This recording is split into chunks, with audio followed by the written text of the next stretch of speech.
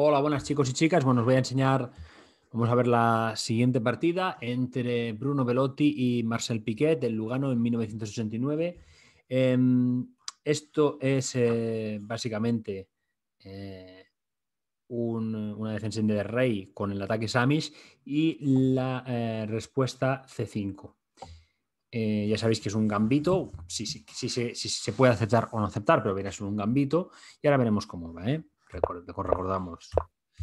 Esta es la tercera partida que enseñamos. La primera fue de Kramnik contra Shirov, la segunda de Dreyer contra Watanabe y esta entre Velotti y Piquet.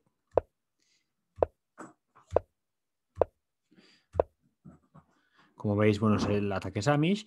Y en, este caso hacen C5. Y en, bueno, después de C5, en lugar de tomar de primeras, Juan caballo G2 es una opción, quizás es de las mejores opciones. Eh, en este caso, las blancas declinan la, oferta y refuerzan su centro. También podrían jugar de 5, ¿no? sería otra opción, ¿no? Jugar directamente de 5 sería otra opción por el estilo, ¿no? De que en que no se captura. Eh, lo que pasa es lo que pasa es que eso concedería a las negras más opciones con su caballo dama y no están obligadas a situarlo en E5 eh, con el tema del doble filo. ¿no? Me refiero, este caballo le da más opciones a, este caballo en el caso de hacer de 5. por lo que acabamos de decir, eh, en este caso, este caballo no tendría por qué llegar aquí. ¿no? Podría buscar otras, otras soluciones. Creo que eh, hay que intentar evitar a veces definir las situaciones antes de tiempo. A menos que se tenga un plan muy claro pero bueno, eh, si lo miramos, lo han ensayado Kariakin en el 2013, algo antes eh, One contra Piquet y bueno, que Piquet, bueno, con que de, hecho esta partida también es, eh, pero en este caso es, eh, no es Marcel, sino es Jerome Piquet. Seira One también lo ha hecho contra Ivan Cook, y de hecho, todas las que he hecho han sido tablas, salvo la última en la que ganan, negras, ¿no? Bueno, pienso que es, demostrativo. Pese a ello, pese a ello, si miramos estadísticamente, han ganado más partidas las blancas que no las negras. Podríamos decir que una de cada tres las han ganado negras, lo que yo veo estadísticamente aquí, con las, con las principales eh, jugadas. Entonces, eh, bueno, en este caso, caballo de Gia E2 es mucho más principal. También se ha jugado mucho. Es contra Rajabov, eh, Ponomariov contra Grishuk, es contra Grishuk y, y contra, contra Kamsky.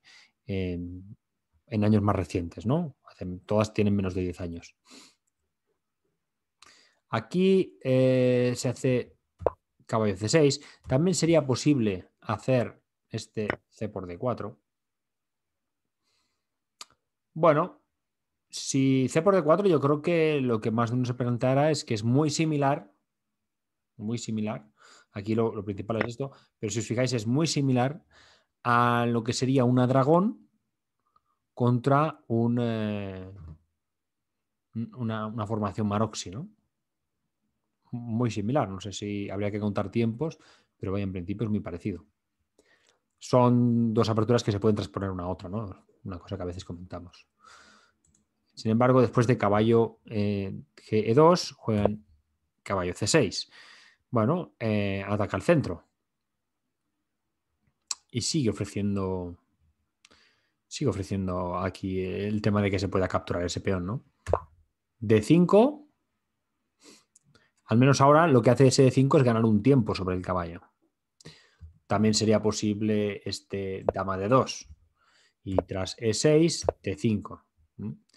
Pero bueno, no, es tan favorable para el blanco. No es tan favorable en este caso. Creo que es más igualado. Igualado, sí, más igualado. En este caso, la jugada de 5, yo creo pienso que es un poquito mejor para el blanco. ligeramente, pero algo mejor. Caballo 5. saca al caballo. Bueno, el gran problema ya sabéis que muchas veces estas dos piezas tienen problemas ¿no? con esta formación. Eh, y derivado de estas dos piezas que no acaban de desarrollarse, el, peón de C4 está atacado. Entonces, bueno, esta jugada, este caballo G3 tiene todo el sentido. Lo que desearía aquí el blanco eh, en muchas ocasiones es poder haber hecho antes G4 para luego caballo. ¿Sí? Eh, esto es preferible para el blanco, pero bueno, en este caso no, no queda otra. Otras opciones aquí pues serían, yo creo que el planteamiento de hacia dónde se aparta el caballo, ¿no? Puede ser que el caballo fuera C1, puede ser que fuera F4 o podemos utilizar la dama en B3, pero ninguna de ellas da mejor, mejor resultado que el caballo G3. Esta es la que da mejor resultado. Aquí E6, eh, enseguida el negro eh, va a atacar al centro blanco, que es un centro que se ha solidificado. En cuanto algo se solidifica, pues es más fácil atacarlo. ¿no? alfil 2, E por D5, C por D5 y A6. Bueno, la idea es expandirse en el flanco de dama, es meter un B5 y también eh, se plantea una expansión en el flanco de rey. En este caso, como el centro queda medio bloqueado en este momento, el negro puede plantearse hacer una H4 con el peón, luego hacer H5, también meter un caballo por H7 y hacer F5. Hay varias rupturas que el negro puede hacer. Y considero que en ese sentido eh, para mí eh, tiene cierta ventaja el negro, porque tiene muchas más posibilidades de, rupturas. no sé si eh, a nivel, bueno, mm, en el módulo da una ligera ventaja al blanco. Yo considero que a nivel de juego, siempre que con más rupturas haya, hay más posibilidades del, bando que las del bando que las tiene. Aquí a 4, evitando ese B5, alfil de 7, refuerza la amenaza B5 y ahora enroque. Otras opciones para ganar espacio en el centro, por ejemplo, ¿no? F4, que echa el caballo, ¿no? Literalmente. Y aquí hay planteamientos varios. Un caballo de F a G4 es una jugada interesante que le da una ligera ventaja al negro, de hecho. Está tocando el alfil de 3, como veis, ¿no? Con el caballo. Es decir, si este tomara. Eh, bueno, aquí lo principal sería hacer un alfil G1, ¿no? Pero pongamos por caso, vamos a poner una, ¿no? Vamos a poner por caso que eh, en este momento las, dos tipos de capturas, ¿no? Si alfil por, pues tranquilamente se hace un caballo por G4 y yo considero que el, negro ya tiene una clara ventaja. Y en el caso de que hicieron F por, pues este caballo por E3 yo creo que también da una, una, ventaja clara. Básicamente está tocando la dama y está tocando el peón, ¿no? Entonces, cuando la dama se mueve, pues nos comemos el peón. Y aquí yo creo que el blanco, pues, eh, ya está sufriendo, ¿no? Ya está sufriendo y yo creo que ya tiene medio perdida la partida. por eso este caballo de CG4 es interesante. Pero no es lo único. Aquí también se puede seguir tranquilamente con este caballo de G4 y tras alfil de 2 apartándose del ataque, H5 refuerza el caballo, H3, caballo H6. En este caso, si el negro hiciese H4, el blanco tenía una, tendría una clara ventaja, aunque las dos partidas que hay de referencia son tablas. Caballo H6 y aquí, bueno, dos, dos opciones. Y E5, caballo H7, enroque y caballo F5 da igualdad.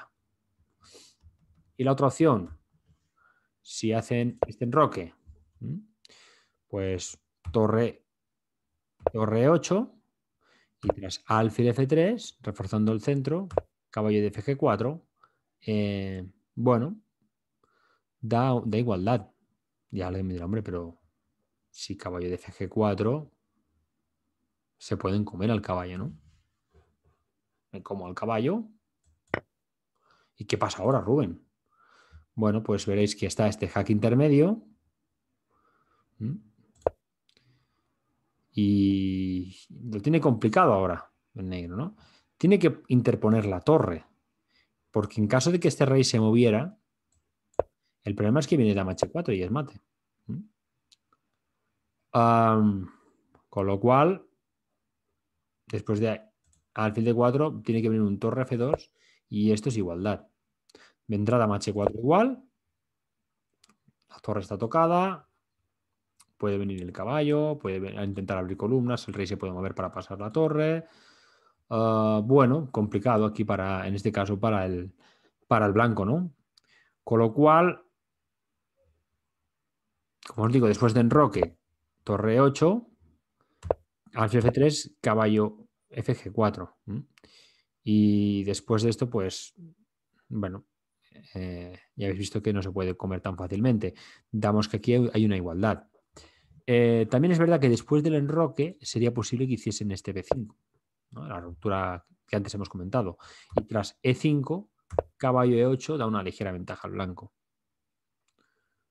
Bueno, como veis, se está amenazando alfil por H5, ¿no? Y intentar entrar, eh, generar un ataque contra el enroque rival y, sacar aquí algo de en claro, ¿no? Bueno, esto con esta línea, con estas dos jugadas que hemos visto y estando en alfil de 7, el blanco en lugar de jugar este F4, que es lo que estábamos comentando, también es posible F4, que es lo que acabamos de analizar, también es posible este H3, que sería otra idea. Eh, bueno, tras H3, B5, F4, caballo C4. Es un poquito más prudente H3 y yo pienso que da mejor, mm, con las mismas ideas, pero da un poquito mejor resultado. Alfil por C4, B por C4 en roque y caballo 8. Y el negro, con esta jugada que es interesante, podrá buscar F5 y hay cierta igualdad. pero me parece una línea mejor. Para mí es como una especie de mejora sobre F4. Más que nada porque B5 tampoco genera gran cosa. Haciendo F4, tenemos, tienen la respuesta que hemos comentado de este caballo F por FG4. Pero también está este caballo de AG4, ¿no? que al blanco no le da mm, gran cosa, más que una igualdad. Sin embargo, eh, con este H3, pues se puede llegar a algo similar, pero un poquito mejorado. B5 no aporta gran cosa, sí que se expande, pero tampoco no, en lo referente al, ataque en el flanco de rey. Y ahora tenemos F4 sin miedo a que nos hagan ese caballo de E o caballo de CG4. Caballo de C4, la verdad, nos, nos afecta poco realmente en comparación con la otra jugada. Alfil por B por. Y ahora esa expansión en el flanco dama ha quedado en un peón doblado. Y tras el roque, caballo 8, sí que es verdad que propone esa ruptura, pero bueno, creo que el blanco no tiene por qué preocuparse en absoluto, ¿no? Bueno, esas son las, las líneas. Aquí hemos dicho que después del alfil de 7 se enroca. Aquí el blanco se enrocó. Eh, Bruno Velotti contra Marcel Piquet en Lugano en el 89. Y tras B5, ahora aquí B5 sí es una muy buena jugada, A por B5. Analizamos otra vez este H3, ¿no? Dice que con H3 vendría torre B8 y tras B3 aquí hemos conseguido algo bastante interesante, que es que el caballo de E5 quede totalmente copado no tiene ninguna casilla útil. Y yo creo que esto es ya interesante de por sí. Es un caballo centralizado que no se está atacando, pero que no, se, no, tiene ningún salto. Entonces, me parece una maravilla. Tras caballo 8, torre C1, B por A4, B por A4 y torre B4 es una buena jugada que puede seguir con alfil por A6 y dama 5. Eh, aquí hay igualdad. Aquí hay igualdad. Sí que es verdad que el blanco tiene de momento ese peón que está como pasado, pero difícilmente puede sacar rédito de eso, ¿no? Porque las piezas negras están muy bien colocadas. Tiene tres piezas atacando al peón y, también está atacando al alfil, con lo cual, no sé, no, no, no veo que pudiera sacar mucho rédito. Y, sin embargo, el negro pues, también tiene un peón pasado, ¿no? Aunque sea en su cuarta fila, el peón de C5. Bueno, es otra línea interesante analizar, este H3 considero que estas dos jugadas, estos dos H3 que hemos visto en estas dos líneas, eh, pues pueden dar buenos resultados. Creo que es, está bastante bien. Sobre todo si no se ve claro que el negro vaya a hacer un ataque en el flanco de rey inminente, ¿no? En el cual nos puedan colisionar utilizando el alfil contra el peón de H3. A por B5, 3A por B5, torre por A8, dama por A8 y alfil por B5. Bueno, también sería posible hacer aquí este caballo por B5, pero tras alfil por, alfil por torre B8 le da una ligera ventaja al negro. Aquí el problema es que hay que defender ese alfil y al mismo tiempo defender al peón. Y bueno, las piezas blancas pues quedarán ligadas un poco a, esas defensas si es que consiguen salvar el peón. Eso, alfil por b5, y tras alfil por b5, caballo por b5, dama 6, toca el caballo y ahora, bueno, se juega caballo a 3. Em, aparte de caballo a 3, también se ha jugado alguna vez caballo c3. Caballo c3 en las partidas que veo aquí, al menos eh, ha ganado un par de partidas. Por ejemplo, aquí tenemos una partida entre Nikolaev y Belov. Torre B8, tocando el peón, dama C2, dama D3, muy buena jugada. Y tras dama F2, bueno, aquí sí, sí, si aquí se hace dama por D3, pues caballo por D3 y vemos que el peón de B2 está cayendo, ¿no? Por eso, dama F2 y tras caballo C4 tocando el peón, caballo D1 defiende, caballo por D5, es muy buena jugada, por detrás E por D5, caballo por E3. Y aquí, eh, bueno, en el caso de que hubiesen hecho un dama por E3, pues aquí sí que sigue alfil de 4, ¿no? Y está clavando a la dama. Y esto es lo que está de fondo. Aquí está esta clavada, que es muy dura, ¿no? Eh, pero claro, con la otra línea, con la línea principal, tras caballo por E3, torre por, es la jugada que se hizo. Eh, hubiese sido mejor alfil de 4. Y ese caballo estaba fastidiado, ¿no? Porque tras torre E1, torre por B2 y el caballo se pierde, ¿no? caballo se pierde dramáticamente, se pierde esa pieza, lo cual no es poca cosa. Aquí no se jugó, no se jugó esto, sino que se hizo torre por. Y tras torre de 1, dama b3, torre de 2, torre b1, caballo de c1, alfil de 4. Eh, bueno, pues ya se vienen obligados a entregar calidad. Torre por, c por y dama por. Y tras torre de 1, tocando esa dama, dama e4, dama b6 jaque, rey h1, dama f2. Y bueno, eh, esta partida la, ganaron negras, ¿no? Entre lo que os digo, Sergej eh, Nikolaev y Igor Belov en Podolsk en el 91. Esto es con la línea caballo c3, que alguna, alguna cosa ha ganado se ha ganado con blancas. En otro caso, bueno, pues Vityugov contra Nerev le ganó en el 2012, bastantes años eh, más tarde.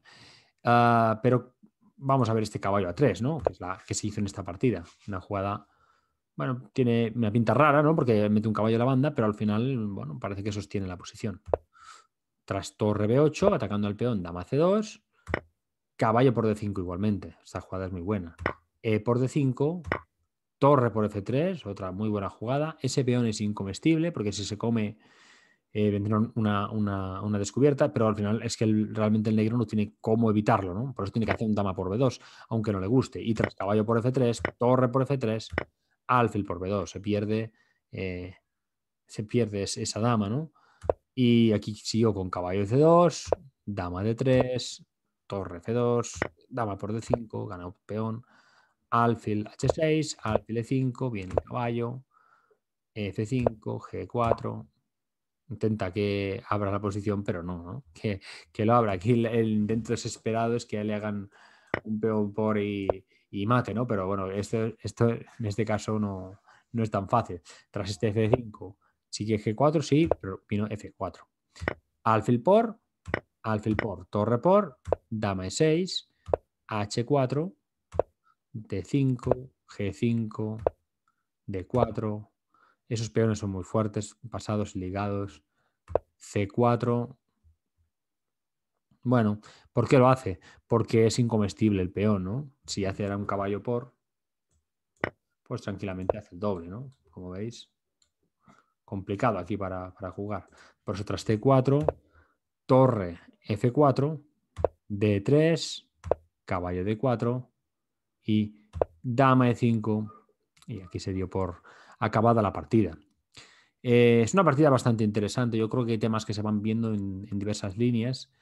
Em, y, bueno, y, a mí me gusta, ¿no? Creo que hay que quedarse con la parte del principio, sobre todo. En ese no comerse o esperar para avanzar el peón, mantener la tensión, en un momento dado, cuando sacan el caballo, ganarle el tiempo al caballo, sacar ese caballo por, por G3 cuando te atacan el peón de C4 y cuando atacan el centro, pues ya desarrollar alfil y, ver, y evitar sobre todo esos, avances, ¿no? Ah, bueno, muchas veces cuando se juega a 6 en las indias de rey, con el caballo en C6 o sin, eh, es para hacer un B5, ¿no? Es expansión.